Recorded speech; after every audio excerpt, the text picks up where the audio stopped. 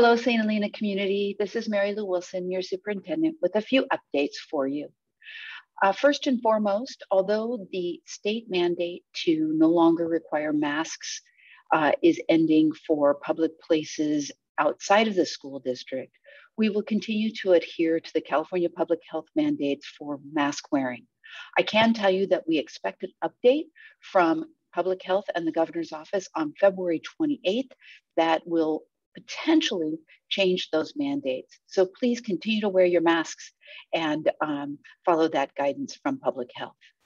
Also wanted to let you know that uh, we have added an additional testing location on Wednesdays. So every day after school, we do have available rapid antigen testing, two days at RLS, two days at the primary school, and one day at the elementary school in collaboration with the Boys and Girls Club. Finally, I have some really good news for those people who like to volunteer in our schools. We will begin allowing volunteers in our classrooms effective Monday, February 28th. You will need to fill out an application that you can access on the district website and the school websites. There are a few other um, requirements, TB test, fingerprinting, and also now you will need to prove uh, proof of vaccination.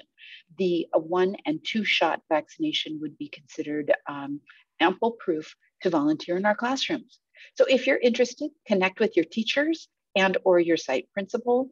Um, find out if there's a place for you to volunteer, finish up the paperwork, and um, we'll get you in those classrooms and start volunteering. Remember that the TB test and the fingerprinting costs are covered by us as the school district to support our volunteers in the classroom.